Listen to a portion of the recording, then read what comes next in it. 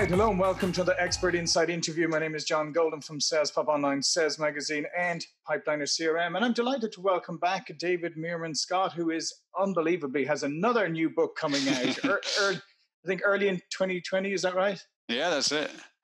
Yeah, and this book, I think, uh, is different than David's other best-selling books that have been translated across the globe. And uh, David is known as like a, a, one of the gurus of, of, sales and marketing. But this one you wrote with your daughter, right? I did. Yeah, my daughter. She's 26 years old now, and we decided to write it together. And you're right; it is a departure for me. Um, uh, on a, in a lot of levels. Uh, I'm best known for a book called The New Rules of Marketing and PR, yep. which was really the first book to talk about what we now call either social media marketing mm-hmm. or uh, inbound marketing, whatever term you want to use.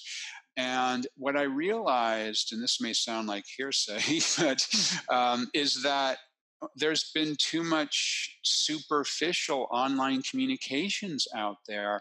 People are doubling down on social channels. It's become polarizing, not just from the political climate, but other things happening out there as well.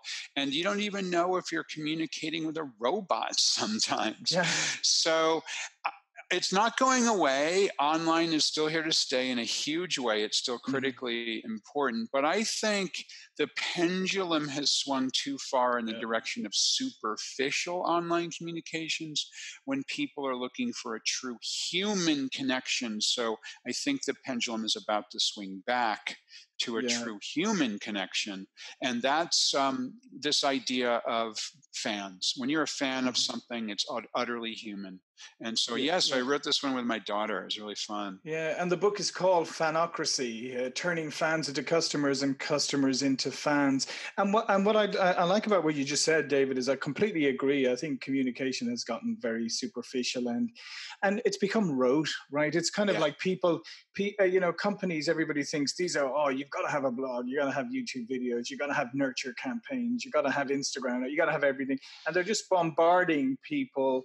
And you're right you don't know sometimes now whether you're communi- communicating with a bot. And to be honest, there's a that's an interesting, almost ethical uh, uh, angle to that. Is should you know if you're communicating with a bot? Yeah, should the company let you know it's a bot? I don't know. That's a really interesting question. Um, and as we were digging into this, you know, I was thinking to myself, on one hand, I'm frustrated with all this inbound. Online, mm-hmm. social, and I still love it. I, mean, I still mm-hmm. participate every day in sure. social mm-hmm. media, but but it just seems like an end, endless tidal wave. At the same time, I recognize that the things that I love, like going to rock concerts, for mm-hmm. example, mm-hmm. I've been to 700 and I think it's 89 now live concerts. Uh, and I've been doing it since I was age 15. My best friends are going to live concerts. Mm-hmm. And I was saying to my daughter, Reiko, you know, what is it with me and live music? I'm like, geeking out about it. Every month yeah, I go to live music. My best friends go to live music. And she said, I know. I've I love Harry Potter. I've got the things I geek out about, and not, and not only has Reiko read every book multiple times, seen mm-hmm. each movie multiple times, gone to the Wizarding World of Harry Potter in Orlando, gone to the studio in London, but she wrote a ninety thousand word alternative ending to the Harry Potter series, where wow. Draco Malfoy is a spy for the Order of the Phoenix, and put it on a fan fiction site for people to download for free. You know, we are geeks. Every single single person. You're a geek, John. I'm a geek. We all geek out about something. so, on one hand, there's all this superficial stuff going on. On the other hand, we're passionate about things, and I think we can bring. I think we can bring that passion to our work, and I think we can create what I call a fanocracy, which is having people eager to do business with you rather than you trying to just, you know, turn them into something in your pipeline. Yeah. And I think there's, as you say, I think the pendulum is swinging, and I think there's a craving now for that. I think people want to be, you know, treated as humans. People want to have more of a connection. I mean, like you said, um, you know, with with live music, and I think you, I was reading. Uh, your stats. What's it? 165, 175 Grateful Dead concerts. Oh, it's a ridiculous number. Yeah, it's, it's actually 75 um, Grateful uh, Dead concerts. And, yeah, you know, I mean that, that's nutty. But but we all have the things we mm-hmm. dig into. You know, for some people it's running marathons. For other mm-hmm. people it's bird watching. For other people, you know, it's it's it's it's the sporting team that they love or the yeah. sport that they participate in, and uh, we all have those passions. So, what makes you so okay? So, we have those about the things that we love, kind of, we're passionate about, you know, music or sports or whatever it is, or, you know, Harry Potter, things like that. How does a company rise above all of the superficial noise and be be able to kind of project enough of an enough authenticity that people want to connect with that company in a way that they would want to connect with you know their favorite sports team yeah so what we realized and I mean we've been doing the research now for five years what we uh-huh. realized wow. is that the simple answer the, the simple answer is that people want a true human connection Mm-hmm. They want a true human connection to the people who work at the companies that they want to do business with.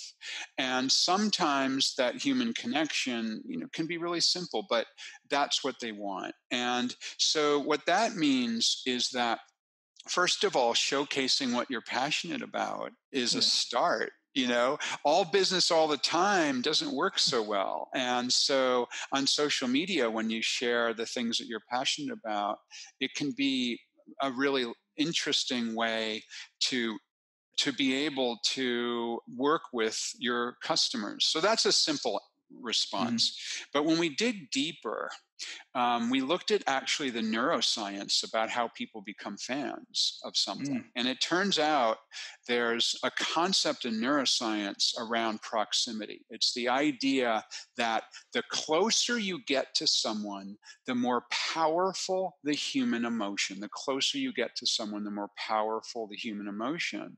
And neuroscience tells us there's four zones of influence. The first zone is called public space, it's further than 20 20 feet away from somebody else. And we humans don't pay too much attention to people who are that far away from us. Right. Uh, but it's hardwired into our brains to pay attention when people get inside of 20 feet. So, inside mm. of 20 feet to about four feet is called social space. When you walk into a crowded room, you can't help that you scan the room. Is there mm-hmm. a friend here? Is there a foe here? Is there a potential mate here? Is your your ancient brain makes you do that. Um, and then there's personal space. That's a foot and a half to four feet away. That's cocktail party distance. If somebody is in your social, in your personal space, and it's a good relationship, you trust them. That's an incredibly powerful relationship in a positive way. If you mm-hmm. don't trust them and you feel threatened, it's an incredibly powerful relationship in a negative way. So when you get on a crowded elevator, you feel nervous. When you're mm-hmm. with someone you trust, you feel great. So, yeah. what that means simply is that when the more opportunities that you can get in business to get in the social and personal space of your customers, the better. Mm-hmm. So, it means that a a, a, conference where you invite your customers. It means going out uh, in the old fashioned way and meeting them. It means uh, being able to um, to to have customers meet with customers as well. Right. Uh, all of yeah. these things are adding to building fans. Yeah, and it's interesting because, and like you said about this idea of proximity and connection, and, and it's funny because if you think about it, over the last number of years, com- some companies have done a great job with of removing people from the equation, right? Putting as many barriers in place. And how often have you heard somebody say, "Oh, well, I finally got through to this person, and she gave me her name and her extension, and I can call her," and they're like so excited that somebody from the yeah. company actually just took an interest. So right. the bars the bar is set pretty low, right? It is. It is. It, it, you're absolutely right. And that it turns out that this isn't just something that we are saying, it mm-hmm. comes from neuroscience. It's hardwired into us. Um, and there's another aspect that's really interesting, and that is that there's something called mirror neurons, something else coming from neuroscience, that when we do something, our brain fires. Right. But when we see someone do the same thing, how, your brain will fire too. So this is lemon water. There's mm-hmm. water mm-hmm. with a, I squeezed a bunch of lemons in here. I'm going to take right. a taste. Oh my gosh, it, it makes my eyes close, my mouth puckers up. I get I get my saliva starts to run. I, I can't help myself, but my, my face scrunches. And I'll bet that you might have felt a little bit of that too. Yeah, no, for sure. Because exactly, because I think you know the minute I thought, oh, that's got to be bitter, right? And you, yeah, you manifested, you know, the bitterness of it. and, and, what's here's what's cool about this idea of mirror neurons. Again, hardwired into us. It's, mm-hmm. it's our ancient brains at work. Um, when we are doing what you and I are doing right this moment. Mm-hmm we are doing a virtual proximity to one another. We right. are in each other's personal space, but it's virtual. You're in a mm-hmm. different part of the world than I am. Yeah. yeah.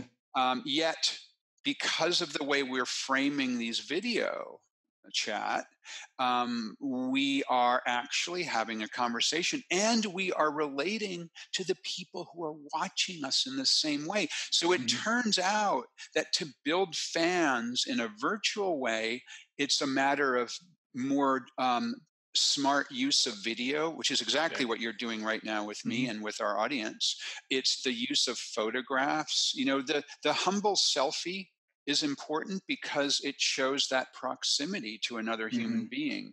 Um, and so these things are all are all ways that businesses of any kind can help to develop fans and that comes from neuroscience. Yeah and i think you're you're totally right is that uh, that anybody in say i mean there's a lot more virtual meetings going on and demos over the web and all of that kind of stuff but if you switch on your camera even if you only switch it on at the beginning because you know some people say well you know then it screws up the demo with bandwidth but if you take those few moments at the beginning switch on your camera and engage with the other person and encourage them to do the same you get that proximity that we're uh, we're talking about right now.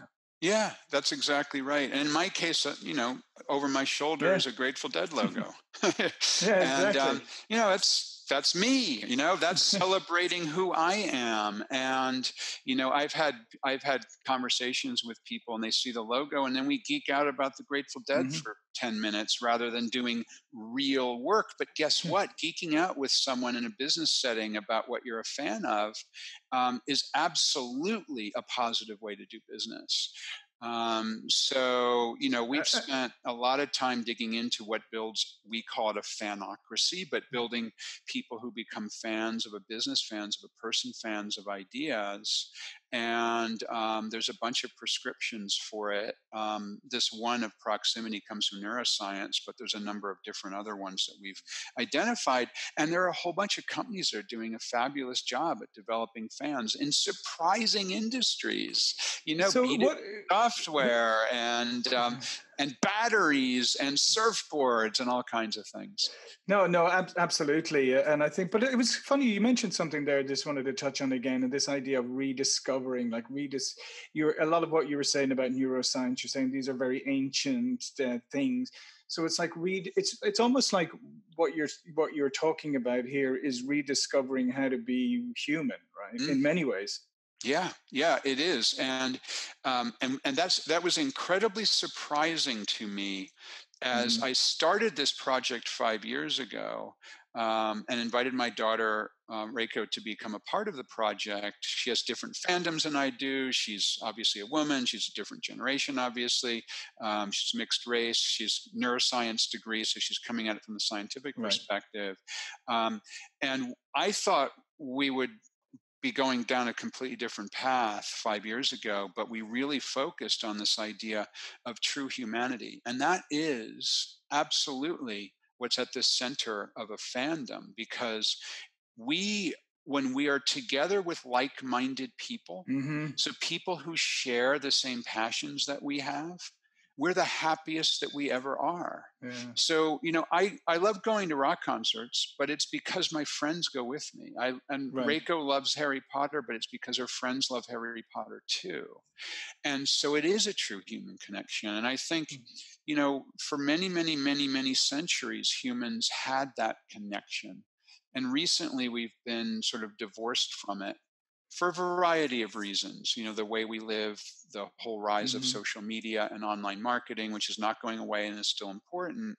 Um, but any organization that can get back to being human, I think has potential to do really well because they'll grow fans.